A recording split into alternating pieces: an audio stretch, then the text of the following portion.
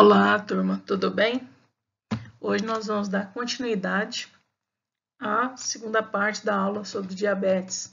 Aqui é a professora Luciana e espero que a gente possa produzir bem essa aula e depois no nosso Meet a gente tirar as dúvidas de vocês, ok? Bora lá? Bem, uma pergunta para os senhores. Pessoa com diabetes pode ficar cego? Por quê? Por que, que uma pessoa com diabetes tem chance de ficar cego? Então, espero que até o final da aula os senhores consigam me responder, tá bom? Bem, no último vídeo, né, nós comentamos com vocês que o diabético, como ele não tem insulina, ele acumula glicose. E esse acúmulo de glicose no sangue gera transtornos. E existem, nós vamos ver aqui, complicações da diabetes devido a esse excesso de açúcar e agudas e complicações crônicas a longo prazo. Então, inicialmente nós vamos estudar as complicações agudas, onde a pessoa ela tem essa hiperglicemia mas ela pode ter crises de hipoglicemia. Então, o paciente não vive só com a taxa de glicose elevada, ela pode ter baixa, principalmente pelo uso de medicamentos, por exemplo, ou estresse. Nós vimos também na última aula que existe uma complicação que, de excesso de açúcar que é, é na, na, diabetes, que é a cetoacidose. Porque como o músculo não consegue usar glicose, ele usa ácidos graxos, né? O triglicérides é um quebrado, libera muito ácido graxo, que a partir dele, então, o fígado vai produzir os corpos cetônicos. E isso na diabetes tipo 1. Já na diabetes tipo 2, nós vimos no outro vídeo que existe uma complicação que pode levar a coma e a óbito, que é o estado hiperosmolar não cetótico nós vamos falar dessas quatro complicações agudas, ok? Bem, a hiperglicemia, né? O paciente já, a gente já sabe que ele tem diabetes, mas ele não controla a alimentação ou não usa a medicação de forma adequada e a glicemia vive elevada, há uma glicemia descompensada. E isso também ocorre, essa hiperglicemia, quando a pessoa tem algum estresse emocional, ou devido a doenças agudas que faz liberar cortisol, por exemplo. Quando a pessoa está estressada, então, libera as catecolaminas, né? Adrenalina, noradrenalina, dopamina. E as catecolaminas, elas agem de forma parecida com o glucagon, estimulando a gliconeogênese, a glicogenólise e a degradação de triglicérides para o músculo, né? Pelo músculo, principalmente. Isso faz, então, a produção maior quantidade de glicose no sangue. Então, a glicose é jogada na corrente sanguínea devido à adrenalina. Vai quebrar o glicogênio ali e estimular a gliconeogênese. Ok? E quando a pessoa tem hipoglicemia? Quem sabe me falar quais são os sintomas de alguém que está com hipoglicemia? Então, o normal da glicose é de 70 a 99 mg por decilitro. Imagina aí um paciente com 42. Isso é um sinal de alerta, né? Isso vai ativar o sistema nervoso simpático. Se ativa o sistema nervoso simpático, libera adrenalina e eu vou ter esses sintomas. A adrenalina vai fazer o músculo tremer, a pessoa tem ansiedade, nervosismo, aumenta a frequência cardíaca, né? Palpitações. A pessoa começa a transpirar, né? Sudorese excessiva, sente calor. Como faz vasoconstrição periférica, vai menos sangue para a periferia, para a pele, a pessoa fica pálida, ela sente frio nas extremidades, né? Ela vai ficar cansada, e a adrenalina faz dilatar as pupilas. Então, a pessoa começa a tremer de fome, né? Da baixa de glicose, começa a ter taquicardia, sudorese, são os principais sintomas que a gente percebe ali. Então, o efeito da adrenalina, ok? Além disso, como ela está sem glicose, produz mais glucagon, né? Então, ela vai sentir fome, vai sentir o ronco do estômago. E nós sabemos que o, o triglicérides vai ser usado pelo músculo, vai ter lipólise, liberar ácidos graxos e o fígado vai transformar acetilcoenzima A em corpos cetônicos, que nós já falamos no outro vídeo. Então, tem corpos cetônicos que vão estimular a náusea, o vômito e a pessoa vai desidratar mais. Desidratar. Há também os efeitos da falta de glicose para o sistema nervoso. Então, existem as manifestações neuroglicopênicas de baixa de glicose. Então, a pessoa tem confusão mental, a vista pode ficar embaçada, ela sente cansaço, fraqueza, fica apático, ok? Então, isso é efeito da epinefrina, da adrenalina, que é liberado nessas situações de hipoglicemia. Bem, nesse quadro aqui nós podemos comparar os sintomas da hiperglicemia com a hipoglicemia, né? Então, vocês podem observar que o início da hiperglicemia existe, é, sintomas são bem lentos, demoram, mas na hipoglicemia é rápido esses sintomas começarem. A pessoa com hiperglicemia, ela tem muita sede devido à desidratação promovida pelo excesso de glicose, nós vimos no vídeo anterior que existe uma glicosúria, né? A glicose é eliminada na urina, uma forma de compensação, e, mas ela puxa a água. Então a pessoa urina mais, então tem poliúria e polidipsia, muita sede. Já na hipoglicemia isso não acontece, tá vendo? Claro, a quantidade de glicose está baixa, então não afeta a osmolaridade.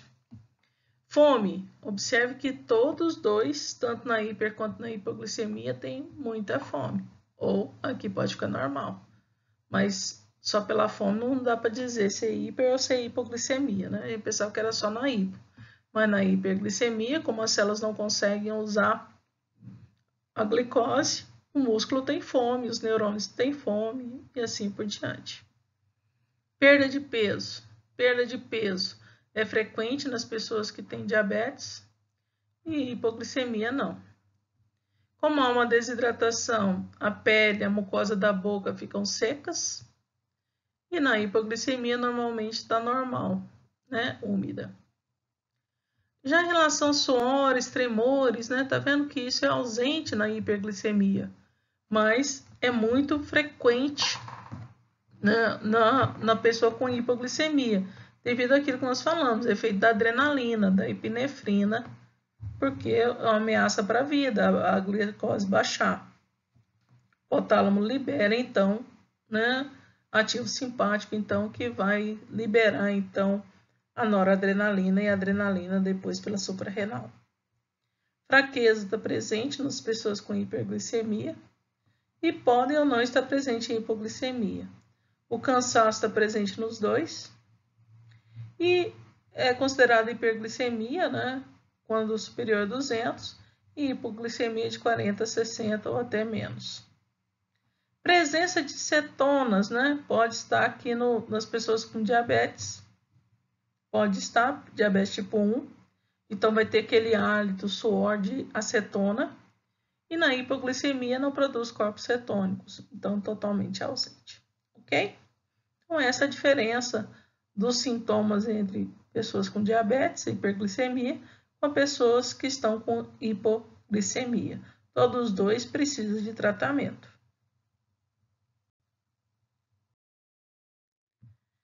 Outra complicação que nós falamos né, é a cetoacidose e hiperosmolaridade não cetótica. Então, a cetoacidose, nós vimos que é no paciente com diabetes tipo 1 e essa outra hiperosmolaridade é comum, então, no paciente com diabetes tipo 2. Isso aqui, essa hiperosmolaridade não cetótica é porque a pessoa ainda produz insulina. Então, na diabetes tipo 2, cria resistência à insulina, mas tem insulina. Então, essa insulina, ela inibe, é, consegue inibir ainda a degradação dos lipídios, a lipólise. Por isso que não vai formar corpos cetônicos. Quando tem acetoacidose, a pessoa tem uma deficiência de insulina e aí formam-se corpos cetônicos, por conta da lipólise. A hiperosmolaridade hiperglicêmica é característica, então, como nós já vimos várias vezes, sobre diabetes tipo 2 e difere da cetose pela presença de insulina.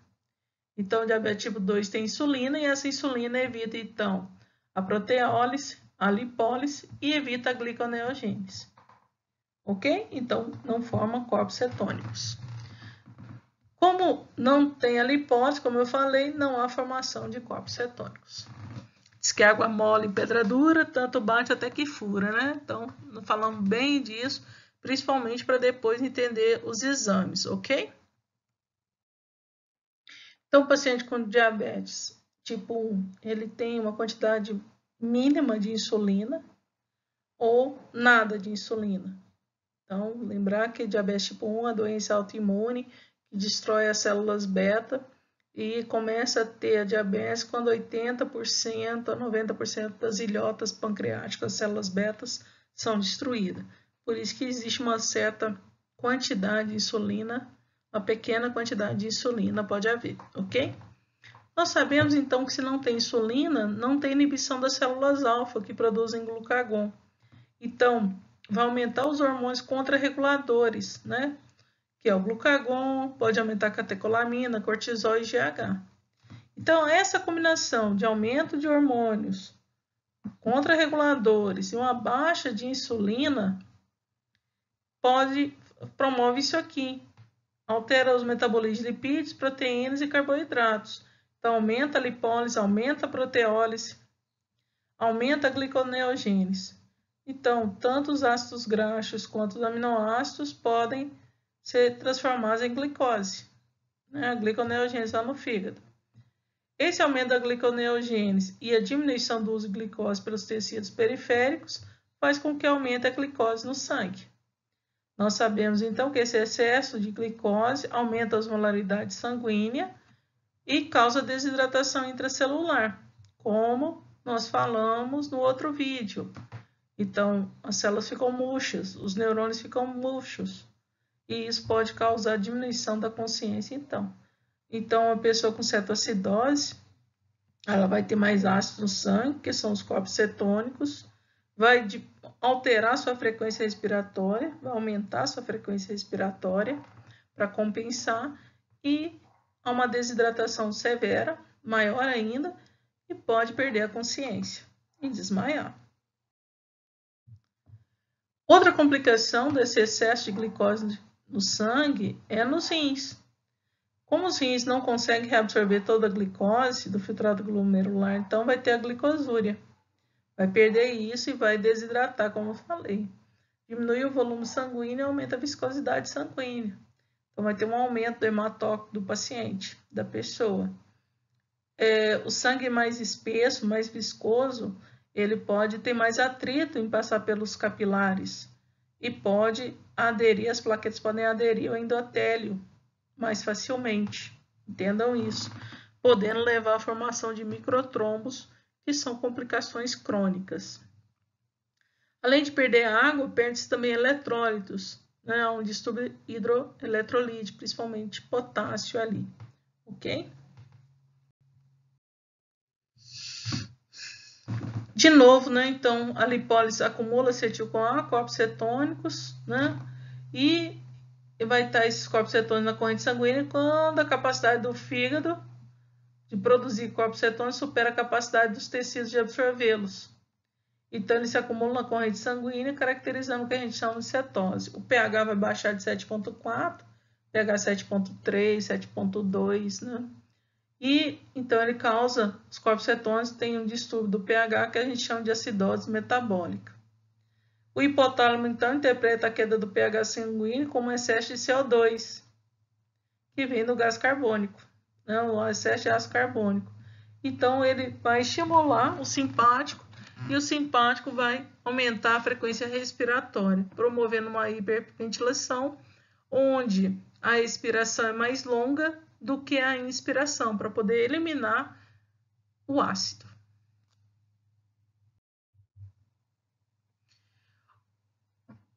Um dos corpos cetônicos, que é o beta-hidroxibutirato, então induzem náuseas, vômitos e agrava ainda a desidratação e a cetoacidose. O excesso de corpos cetônicos também provoca cetonúria, então vai sobrecarregar os rins, vai aumentar a diurese e vai promover a perda de potássio. Então o paciente começa a reclamar de cãibra, por exemplo, né? E pode gerar alterações cardíacas. Há também um, um devido ao aumento dos hormônios contrarreguladores, ao aumento da proteólise, como mencionamos anteriormente. Isso aumenta então a taxa de ureia no sangue, também sobrecarregando os rins. A pessoa com cetoacidose, ela vai ter esses sintomas clássicos, são a polifagia, polidipsia, poliúria e respiração acidótica intensa e perde o, o equilíbrio, né? perde o, uma alteração, perde a, a consciência, né? A pessoa. Então, atinge o sistema nervoso.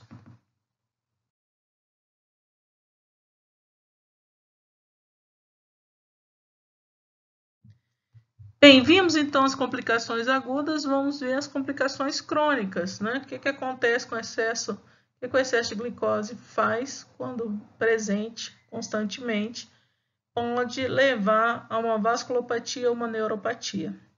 Então aqui a gente vai entender por que, que a pessoa pode ficar cega, por que, que a pessoa pode formar trombos, né? ter lesões, pode ter nefrite, então, eu quero entender o mecanismo que o excesso de glicose faz para causar lesão nas células endoteliais ou em um nervo, por exemplo.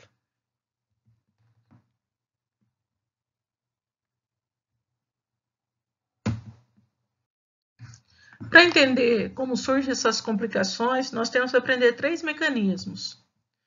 Um que envolve a via dos polióis, outra que envolve a glicação não enzimática de proteínas e outra que envolve as alterações hemodinâmicas. Bora lá! Primeira pergunta para os senhores: o que é poliol? Poliol é um termo aplicado a um produto da redução de um carboidrato. Então, a via do poliol ela vai transformar a glicose, tem seis carbonos, né, em sorbitol, que tem quatro carbonos ok? Então, vai transformar né, em o sorbitol poliol acíclico, de não cadeia fechada. E para transformar a glicose em sorbitol, usa-se a enzima, né? A enzima catalisa isso, é a aldose redutase. Formou esse sorbitol, esse sorbitol é transformado pelas células em frutose, pela sorbitol desidrogenase. Então, a glicose, quando entra numa célula, ela pode entra na via glicolítica, beleza, ou ela pode ser transformada no final em frutose, ok? Então vejam aqui o esquema né, da via dos polióis. A glicose entra, precisa de um NAD pH para doar o hidrogênio. E essa glicose, então, fica uma cadeia aberta, formando um, um álcool, né, que é o sorbitol. Então, uma aldose redutase. Depois, esse sorbitol vai ser transformado em frutose e aí o NAD vai pegar o hidrogênio que foi doado, tá vendo? Então, ele capta esse hidrogênio de novo. E aí, por isso que é uma desidrogenase, uma poliol desidrogenase. Essa via dos polióis acontece em células que não dependem da insulina. Então, isso é comum nas hemácias, nos neurônios, quando tem um excesso de glicose intracelular. Então, está sobrando glicose, eu armazeno essa glicose em forma de frutose. Qual que é o problema de ativar essa via em grandes escalas? Né? Então, isso acontece nos neurônios, lá no cristalino, na retina, na célula de Schwann, que forma bainha de mielina, nas hemácias, plaquetas, lá nas células do túbulo renal, nas células glomerulares e no endotélio, nas células endoteliais. Qual é o problema disso estar tá sendo constantemente ativado? Uma das coisas que acontece quando você tem forma sorbitol, essa enzima polialdesidrogenase, ela fica sobrecarregada, ela satura rápido. E ela não consegue transformar todo o sorbitol em frutose. Então, a célula vai acumular sorbitol. Mas, Luciana, qual é o problema de acumular o sorbitol? Esse sorbitol, meninos, né, ele aumenta a osmolaridade da célula, faz com que a célula retenha mais água. Então começa a acumular água na célula, uma degeneração hidrópica. E se isso não for revertido, a célula vai então evoluir para uma lise osmótica, uma necrose. Então, só do sorbitol estar tá ali presente, ele vai atrair a água, ok? E a célula vai inchar. Mas tem outro efeito do sorbitol ainda. O sorbitol, ele também pode ser transformado em mioinositol, em vez de ser transformado em frutose. Mioinositol. Esse mioinositol tem a função de inibir a bomba de sódio e potássio. E isso então vai acumular sódio na célula, que vai acumular água e vai ter a lise osmótica. Então, o sorbitol pode ser transformado em frutose ou pode ser transformado em mioinositol, que é uma substância que inibe a bomba de sódio e potássio. E a gente sabe que a bomba de sódio e potássio regula os teores de sódio e, e o volume de água, ok? Então, esse é o problema de formar muito sorbitol. E que células fazem essa via dos polióis? Neurônios, hemácias, né? células renais, ou seja, células que não precisam da insulina. A glicose entra facilmente, por isso que acumula nessas células quando o paciente tem uma hiperglicemia devido a uma deficiência de insulina, tem diabetes. Outro mecanismo que nós temos que aprender é sobre a glicação não enzimática, né, que aumenta quando existe uma, um excesso de glicose no sangue. Então, quando tem muita glicose, uma hiperglicemia, a glicose vai grudando em tudo que vê. Vai grudando em proteínas do plasma ou colágeno e vai glicando, vai se ligando, vai se ligando na hemoglobina, vai glicando a hemoglobina, ok?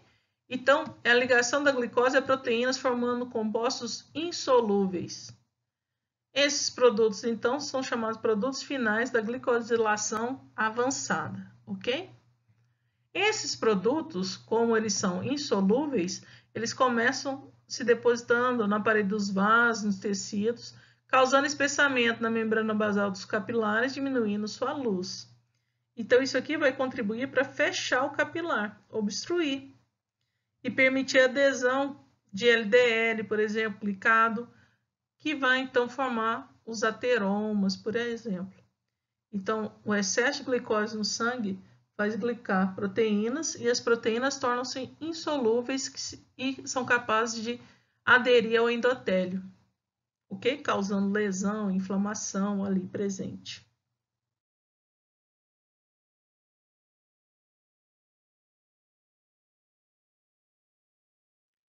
Essa glicação também promove acúmulo de LDL, olha aqui. Então, o LDL glicado, ele adere mais facilmente né, aos vasos, ao endotélio. E há uma diminuição de HDL. HDL é o que circula mais centralmente, e LDL é o que circula mais junto à parede do endotélio. Quando está glicada, a LDL ela acumula, ela é mais difícil de ser metabolizada, por isso que vai aderir aos vasos. Já as HDLs glicadas, elas são metabolizadas mais rapidamente, por isso que diminui o HDL. Então, a pessoa com diabetes tem alteração né, do colesterol, dessas proteínas, LDL e HDL. E a gente sabe, então, que se aumenta LDL, mais chance de ter aterogênese também. Além disso, essa glicose pode se ligar a hemoglobina glicadas e as outras proteínas ali avançadas, ok? Esses produtos finais, então, da glicação também são capazes de promover resposta inflamatória, ativar monócitos, por exemplo, macrófagos, que vão secretar citocinas pró-inflamatórias. Então, vai inflamar o vaso. Além disso, contendo deposição de colesterol no endotélio e tem esse processo de inflamação, as células entendem que é uma lesão e aí começa a estimular a adesão das plaquetas, que vão se agregando e as plaquetas, depois de aderidas, elas ativam né, a cascata de coagulação sanguínea, formando microtrombos, então, ok? Outra coisa que existe né, nos rins é que há uma proliferação de células mesangiais, As células mesangiais são é, células de defesa que tem lá nos rins e elas então vão aumentar, gerando mais inflamação ainda naquele local. Há então uma síntese colágeno naquele local e produção de matriz extracelular. Essa evolução então nos rins faz com que o glomérulo seja é, o glomérulo é uma pineira, então aqueles furinhos, tipo um, um ralinho de queijo, elas vão começar a ter deposição de colágeno e de fibras, né? Que vão tampar o glomérulo. E aí ele vai deixar de funcionar. Vai ter uma nefrite. Bem, então essa outra coisa que essa hiperglicemia altera, né? São os, é, são os vasos, essa hemodinâmica, como eu estou falando, porque já falei que aumentou o LDL glicado, mais faixa aderir ao endotélio. Aumento de proteínas glicadas causa espessamento da membrana basal, como eu falei. E além disso, essa hiperosmolaridade leva a uma desidratação, a uma poliúria, diminui o volume sanguíneo, aumenta a viscosidade sanguínea. Esse aumento de viscosidade sanguínea significa que as células estão passando mais juntas no sangue e tem mais chance de aderir ao endotélio que já está alterado pela deposição de gordura. Então, isso aqui começa a formar uma plaquinha de gordura nos vasos. Como eu mencionei no slide anterior, há um processo de inflamação né, que vai ativar as plaquetas, então, e junto à gordura, plaqueta, começa a formar, então, o ateroma ali. E aonde vai acontecer isso? Pode acontecer nos rins, pode acontecer no capilar do coração, pode acontecer no, no vaso da perna e ter trombose, por exemplo. Pode ter um infarto, pode ser no cérebro, ter um AVC. A gente não sabe onde vai depositar esse LDL glicado e essas proteínas glicadas. Então surge aí o que a gente chama de microangiopatias e macroangiopatias. Então, as microangiopatias é uma diminuição dos lupins né, da luz do capilar devido ao espessamento da membrana basal ou devido à presença já de anteromas, como eu falei, e pela agregação de plaquetas. Essa microangiopatia pode acontecer em qualquer local do corpo, mas é mais evidente em dois locais, no olho, lá na retina, e uma retinopatia, e nos rins que pode acontecer então a nefropatia. Então, a retinopatia e a nefropatia são devidas a essas microangiopatias, devido a essas proteínas glicadas aí e LDL glicado, formação de ateroma. Já as macroangiopatias, né, é, podem acontecer então, são em vasos maiores, não em capilares. A hiperglicemia, há uma alteração dos lipídios, né? um acúmulo de LDL, há um, um, uma hipertensão, uma redução de HDL, e como ativa a coagulação sanguínea e agregação de plaquetas, favorece o quadro de aterosclerose. Aí pode ser no artéria aorta, pode ser num vaso cerebral, pode ser num vaso do coração, e aí as consequências mais sérias são, então, um infarto agudo do miocárdio e o AVE, né, o acidente vascular encefálico, ok? Vamos falar um pouquinho da nefropatia diabética, né? O que que acontece? De novo, há um espessamento da membrana basal dos capilares, lá do néfron, lá no glomérulo renal. As células mesangiais elas vão proliferar na tentativa de fagocitar as impurezas. Né? E há um aumento, então, do fluxo sanguíneo nos capilares, tentando bombear o sangue, aumentando a pressão, para poder ter a filtração. Está difícil de filtrar, então aumenta a pressão na arteríola aferente. Isso então aumenta a pressão nos glomérulos e causa lesão celular direta. Uma maior pressão pode lesionar a parede, então.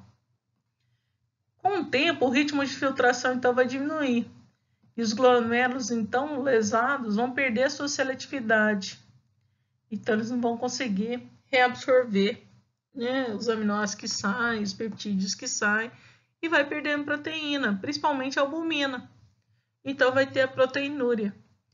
E como não está filtrando, mas reabsorvendo, né? Há uma grande, filtra, é, uma grande perda de proteína, há uma grande perda de eletrólitos, de água. Isso pode evoluir para uma lesão maior no glomérulo, uma nefrite, e levar uma insuficiência renal. Então, o paciente com diabetes, uma das complicações dele são os rins, né? Devido a uma lesão renal, ok? A retinopatia envolve né, o acúmulo de sorbitol. O sorbitol ele entra numa célula chamada pericitos, é formado lá nos pericitos. Os pericitos são células que contráteis que regulam o calibre da microcirculação da retina. Então, esse excesso de sorbitol vai matar esses pericitos, tornando os capilares mais desprotegidos, mais fácil de dilatar, de ter aneurismas e ter sangramento, hemorragias. Tem hemorragia, isso vai ter hipóxia tecidual, vai fazer com que libere fator de crescimento endotelial para o capilar regenerar e começa a formar neovasos. Só que esses neovasos, como as proteínas estão glicadas, eles são muito frágeis e se rompem facilmente, causando mais hipóxia aí e retornando nesse ciclo que nós falamos. Isso é o que a gente caracteriza, né, o que nós chamamos de retinopatia diabética proliferativa. Então, forma novos vasos, mas esses novos vasos não conseguem se estabelecer porque eles são frágeis, ok? É o bendito sorbitol, então, que faz ter essa retinopatia. A neuropatia né, diabética envolve a formação também de sorbitol, mas nas células de Schwann. Então, as células de Schwann vão morrer, as células que formam a bainha de melena. Então, começa a inflamar os nervos brancos, principalmente, e diminui a, a propagação. Então, os nervos vão deixar de funcionar. A propagação do impulso nervoso fica lento, né? Então ele perde a sensibilidade. Perdendo a sensibilidade, é, as pessoas têm dificuldade é, de reconhecer algo que gere dor, que lesiona. Então, por exemplo, se o diabético calça um sapato que está machucando, tipo nós meninas que calçamos um salto numa festa, você vê que no final da festa o pé fica tão machucadinho que a gente tira o salto. O diabético ele não vai sentir essa dor, ele não vai ter esse incômodo, porque ele tem uma neuropatia. Isso faz então gerar feridas, úlceras, né? E como não tem uma circulação adequada, vai ter uma úlcera maior que não cicatriza. Então, uma das complicações do diabetes é o pé do diabético. Então, ele é resultado das neuropatias somados à angiopatia. Tudo bem? Então, nós vimos aqui que as complicações da diabetes crônicas a gente pode resumir em duas, vasculopatias e neuropatias. E essas vasculopatias podem ser microangiopatias ou macroangiopatias. Então, o paciente com diabetes, ele pode ter problema em qualquer região do corpo. Por isso que ele pode ter retinopatia, ele pode ter neuropatia, ele pode ter nefrite devido a essas alterações. E o danado aqui do sorbitol é responsável por a maioria desses, dessas complicações, ok? Então, vocês têm que saber o que é essa via dos polióis, beleza? Saudade de vocês, saudade de estar na sala, né? A gente fica tão triste assim, sem olhar. Mas anote suas perguntas, né? Para a gente no nosso Meet poder solucionar, tá bom? Próxima vídeo aula que eu vou compartilhar para vocês, vamos falar sobre os exames bioquímicos que a gente usa para avaliar o paciente com diabetes, detectar e avaliar os pacientes com hiperglicemia ou hipoglicemia. Tudo bem? Forte abraço, espero que gostem da aula e que dê um like para mim, tá bom? Um beijo.